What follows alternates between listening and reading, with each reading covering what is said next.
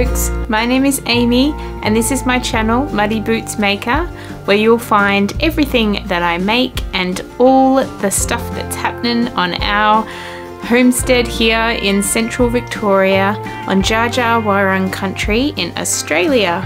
And today we're doing a knitting update.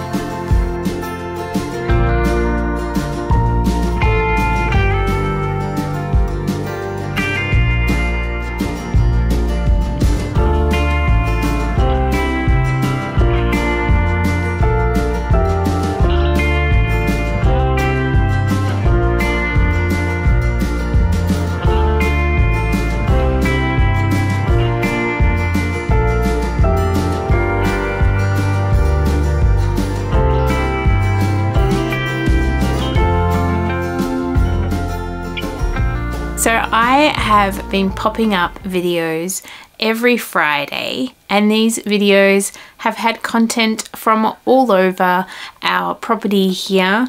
Um, a lot of it has been garden content recently, but once a month I like to pop on here and update my knitting podcast with everything that I have been making um, including some sewn items too. And I have some items to show you that I have for sale. The business that I run makes predominantly handkerchiefs. We sell a lot of handkerchiefs all over Australia. So we sell them wholesale to shops around Australia, but we also sell them online. And I sell them uh, to everywhere around the world on my online shop. And you can find the link down below but I have some new product and I'm really excited because this product introduces the garden into my business. So I'm very excited about that.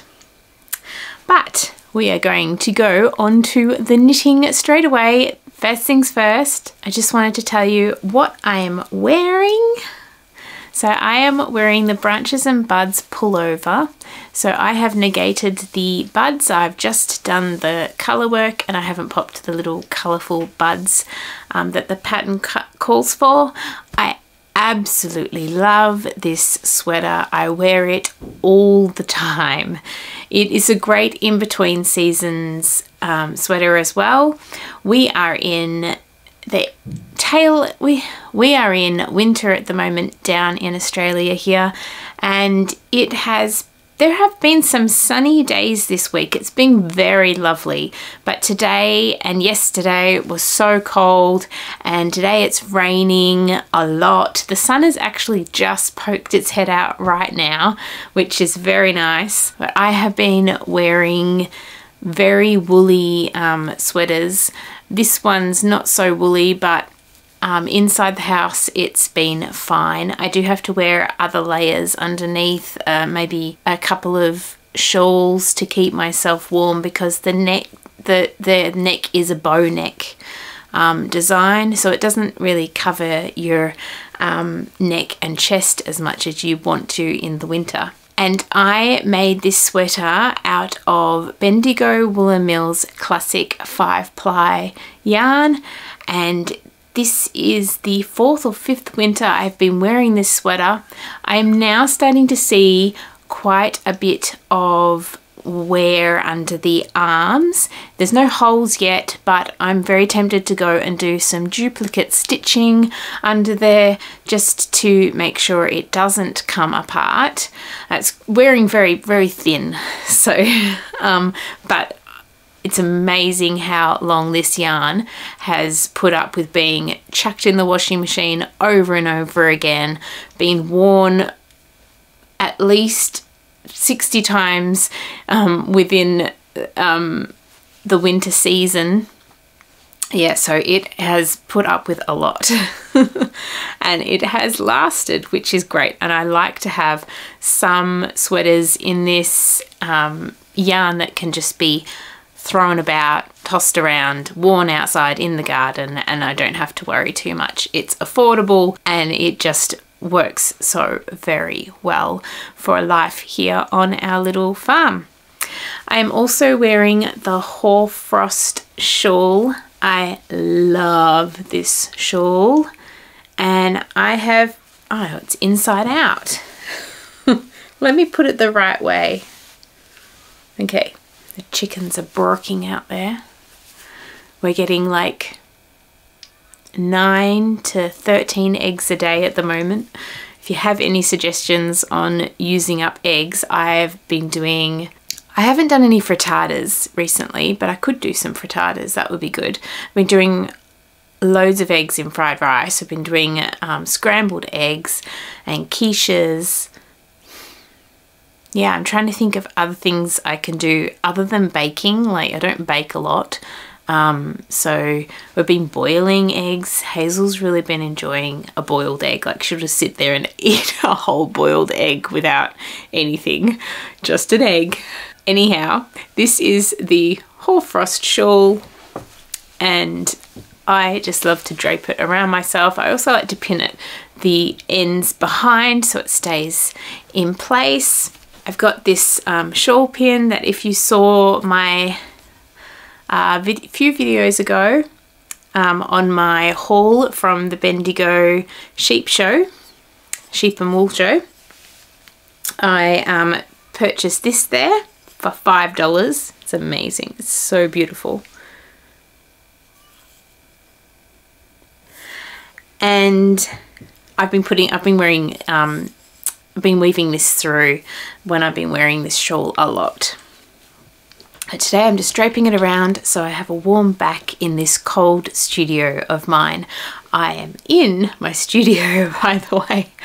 Um, it is quite messy in here because it is a creative space and our creative spaces get messy. That's what I keep telling myself anyway.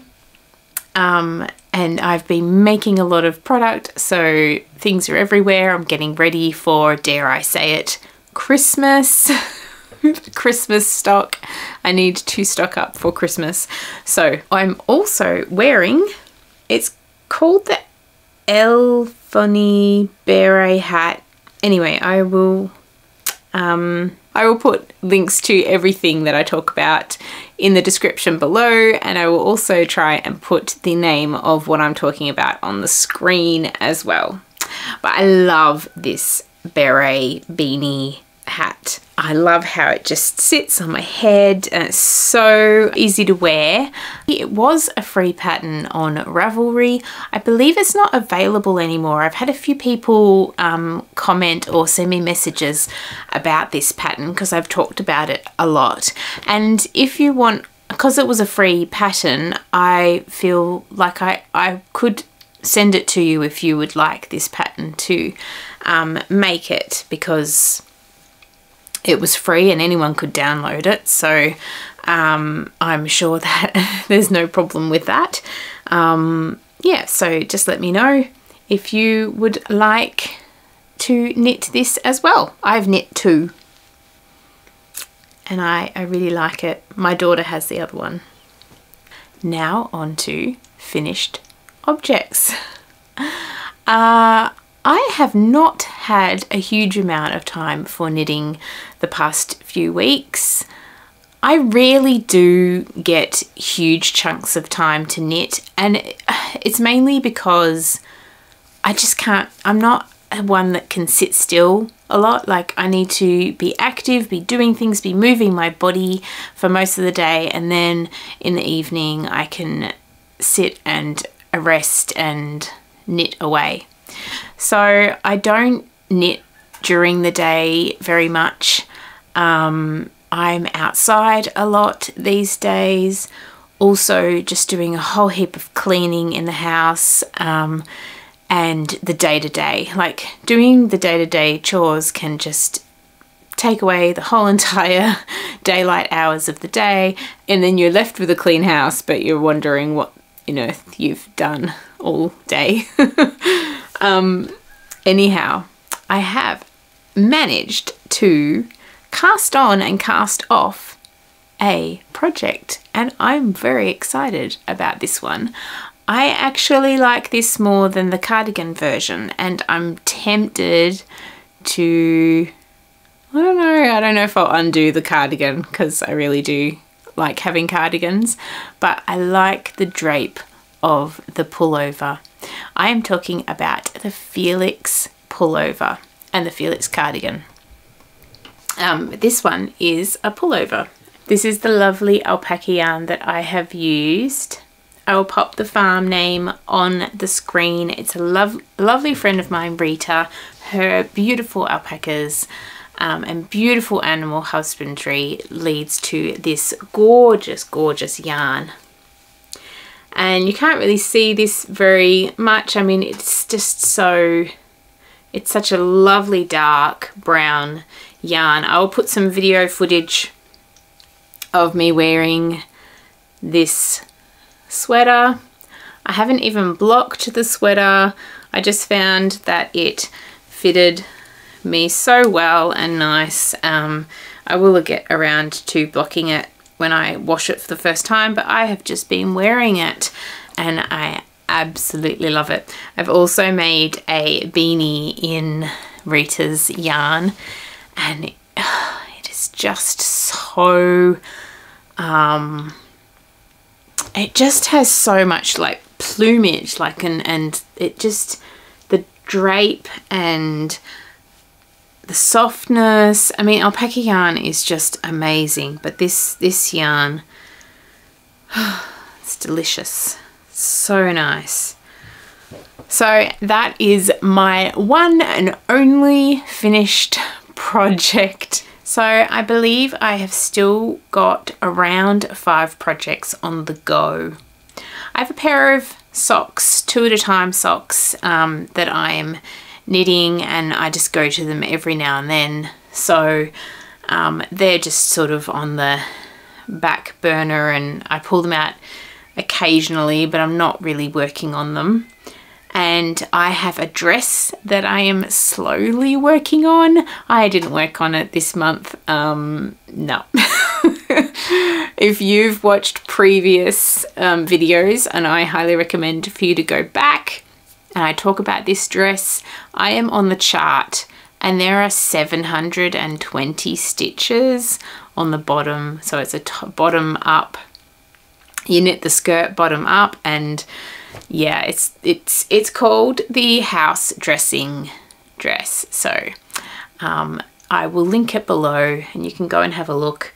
But I don't have much to show, no progress on that. So I won't show it. I also have my second Birkin sweater um, and I have worked on that a little bit. I've now worked through to all the colours. So I'm just repeating this part again down here and then I will be done with the colour work and I will move on to just knit knit knitting the body and this yarn that I'm using so delicious I'm using the British Breeds Marie Wallin British Beads breed beads hmm British breeds yarn and it just smells so nice and sheepy. And I absolutely, I'm in love with these colors. Oh my goodness, look at that. It's just so, so very pretty.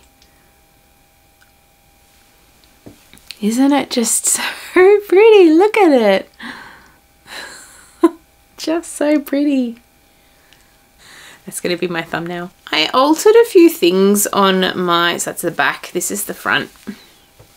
So I sort of took out some rows here of the plain and maybe up here. I definitely started the colour work earlier and earlier on this one as well as the first one. I just didn't want the yoke to be too long. Um, I, it, they just don't fit well on me and I don't want that whole bunching up happening when I raise my arms. So I've done the same here and it's looking to be working out the same length as my first Birkin. So I'm really, really happy with this one. I'm really enjoying the colour work. I don't want it to go too fast. So I haven't been knitting on this one as much. I just pick it up when I really, really want to work on some colour work.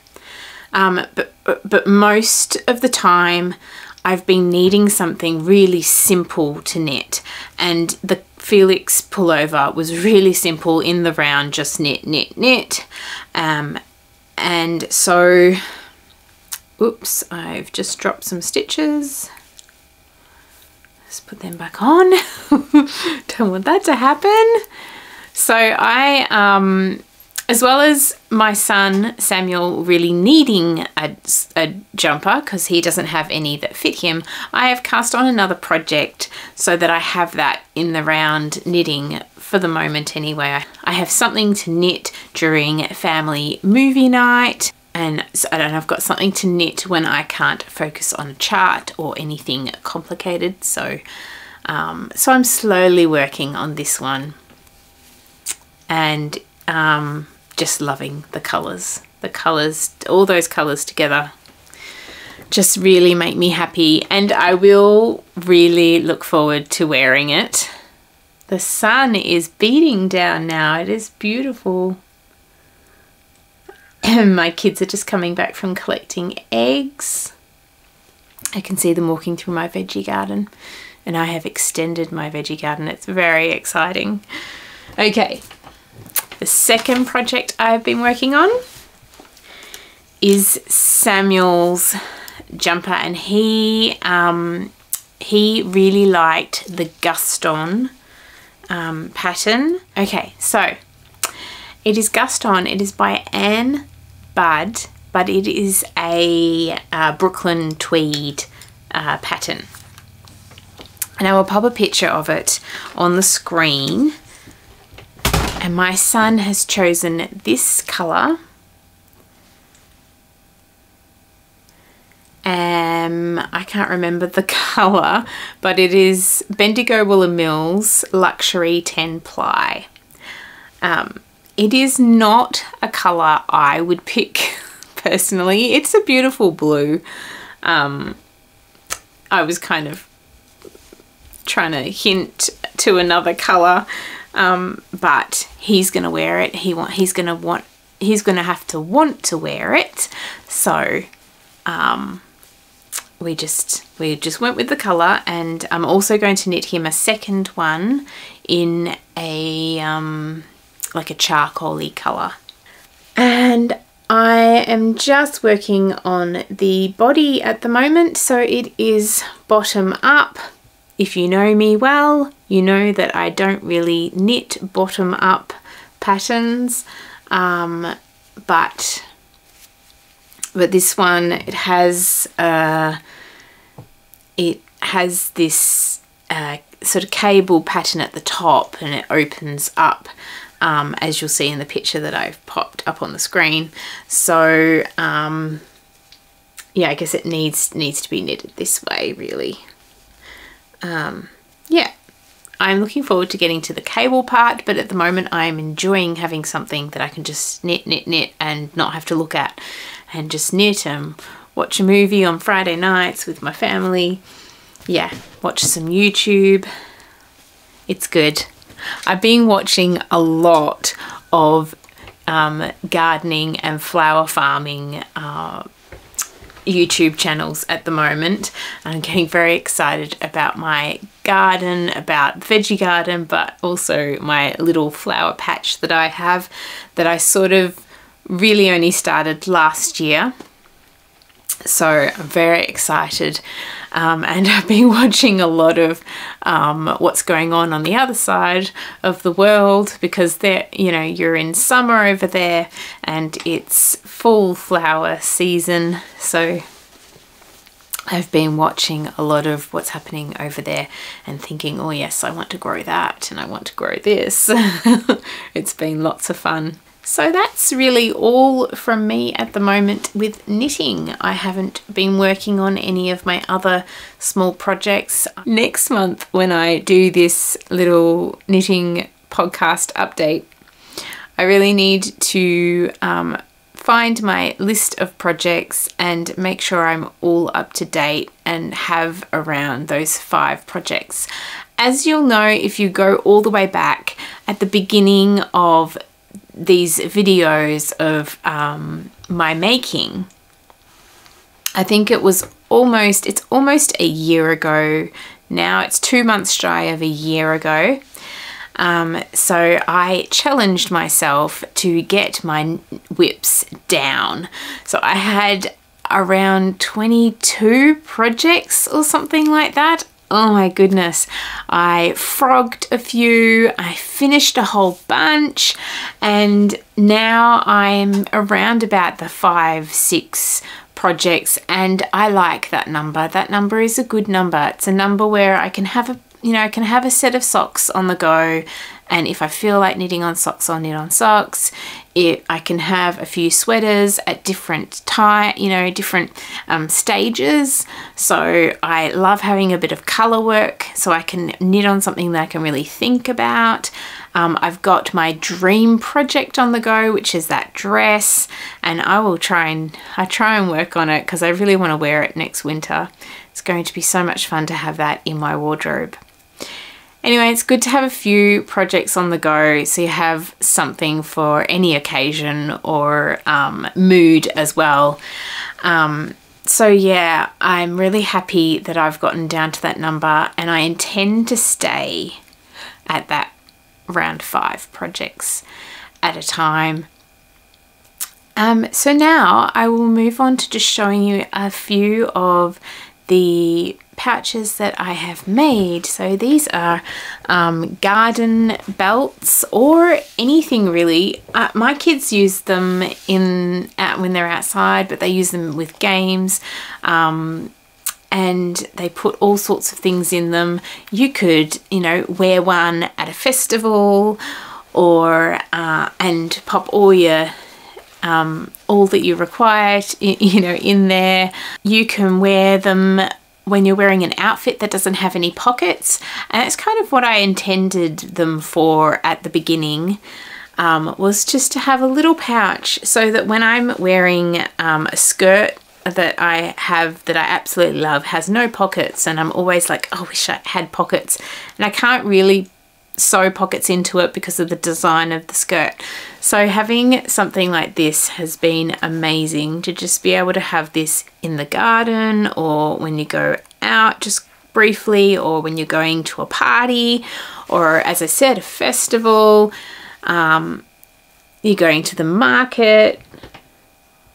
They've all got two pockets. So a front one, a little bit shallower than the second one, which is a bit deeper and also it um, comes in a bit more at the top so it's not as gaping as the bottom one. So if you wanted to put something that um, is more valuable in here, you can put it in this one and it won't pop out. Not that I think it would pop out with in, in the front one, but it's just a bit more secure in the back. Here's the back of it. And the straps that I've done, I've made these straps super, super long for every curvy body. They are over two meters long. So the whole thing is over two meters long. And that just means that it can wrap around twice or wrap around once and you can do a nice bow at the back. Um, please let me know what you think of these. I'm really happy with them. I call them my garden pouches, um, your little utility belt.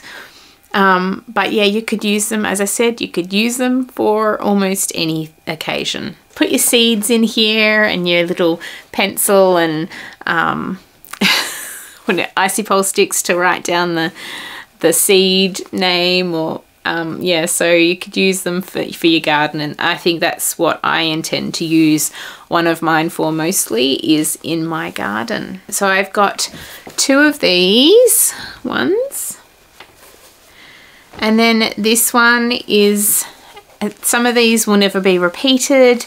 Some of these like this one, the fabric has been discontinued so I will only be able to make another I think another four of these and then I won't have any more of this fabric left. Um, same goes with these two. This is a beautiful fabric that was discontinued years ago and I've just got a little bit left over and I just love it in this I've been waiting and waiting for the right project or the right product to make.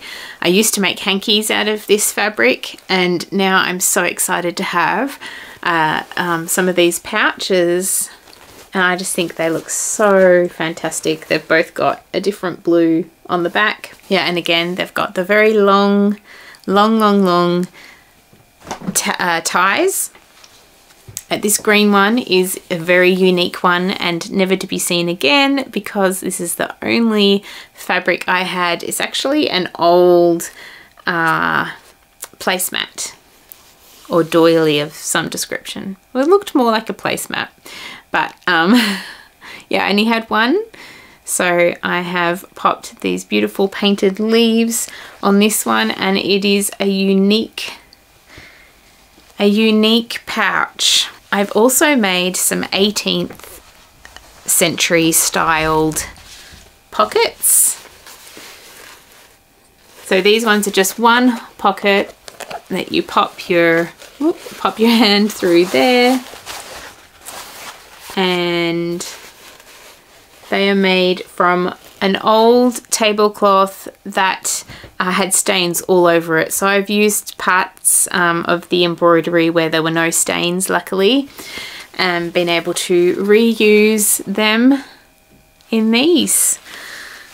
So they will be up right now if um, and I'll have more. I've cut out a whole heap more to make. I'm going to make some more children's sort of fabric ones, but they are intended for a person of any age.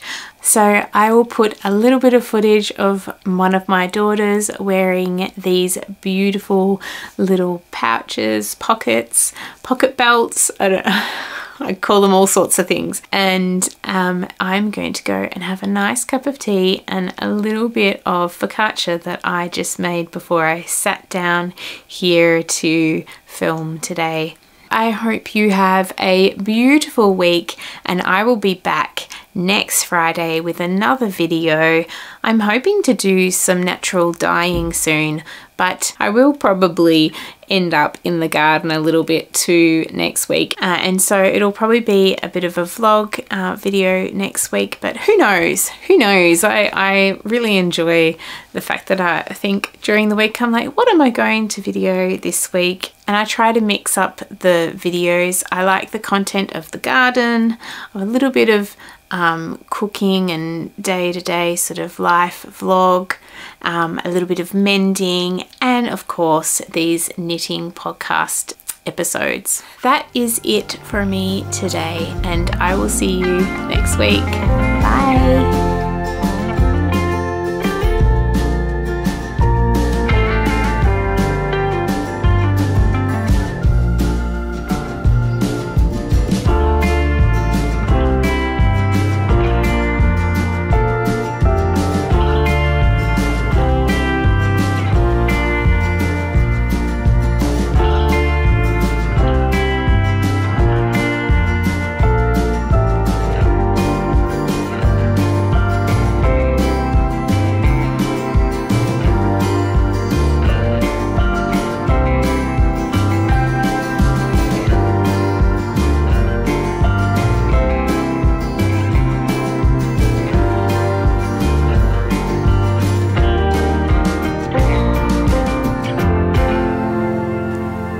So much for watching.